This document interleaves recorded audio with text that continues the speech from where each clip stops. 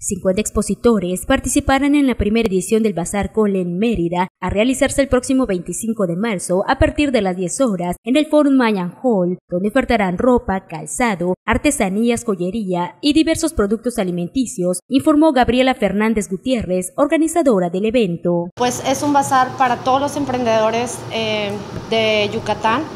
entre los cuales vamos a tener artesanos, amas de casa, empresas grandes, empresas grandes que nos van a,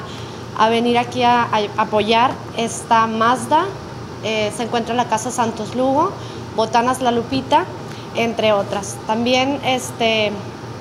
uno de los principales motivos por los que se le llama la prensa es para crear conciencia de la importancia del cuidado que las mujeres deben de tener en conferencia de prensa, anunció que se contará con la unidad de mastografía móvil de la Secretaría de Salud, que realizará pruebas gratuitas a las asistentes. Los requisitos es acudir recién bañada, sin maquillaje ni cremas en el cuerpo. En su turno, Natalia Galo explicó que con este espacio buscan dar a conocer los productos y servicios de emprendedores y además capacitar a los participantes, ya que en esta ocasión la Cana Sintra ofrecerá la conferencia Red de Apoyo al Emprendedor. Y bueno, Colem es una muy buena plataforma para impulsar proyectos como el mío u otros que apenas están empezando a darse a conocer y a que no exista ya más este canibalismo de, estar eh, compitiendo a la mala contra otros negocios. Bien, eh, Colem también es parte de la ideología de fomentarle al emprendedor y a otros negocios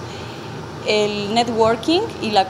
colaboración estratégica con otras marcas para que entre ellas mismas, entre estas mismas marcas se pueda hacer una colaboración orgánica y que ayude a crecer a, a las mismas marcas participantes. Con imágenes de Daniel Ken e información de Merly Gómez, Notivisión.